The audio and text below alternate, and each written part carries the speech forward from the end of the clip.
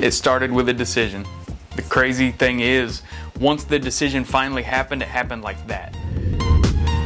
The whole keep showing up mindset, it's the phrase, it's the hashtag I use. I mean, it's that mindset that literally helped me change my whole world. It was just 11 years ago, I made a decision that I was gonna start and I would never stop.